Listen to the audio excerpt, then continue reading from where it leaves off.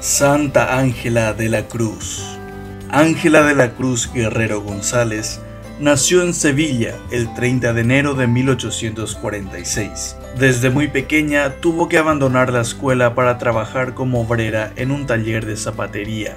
En 1871 con un acto privado prometió al Señor vivir según los consejos evangélicos. En su experiencia de oración, vio una cruz vacía frente a la de Cristo crucificado y recibió la inspiración de inmolarse junto a Él por la salvación de las almas. Esta experiencia espiritual esclareció el horizonte de su vida y la del instituto que iba a fundar. En 1875 dio comienzo el Instituto de las Hermanas de la Compañía de la Cruz, que se distinguiría por el servicio a Dios en los hermanos más pobres, haciéndose pobre con el pobre para llevarlo a Cristo admirada de todos y llamada por el pueblo Madre de los pobres, despreciando toda gloria humana y buscando la total humillación. Se durmió en el Señor en Sevilla a la edad de 86 años el 12 de marzo de 1932 y fue canonizada por el Papa Juan Pablo II el 4 de mayo del 2003.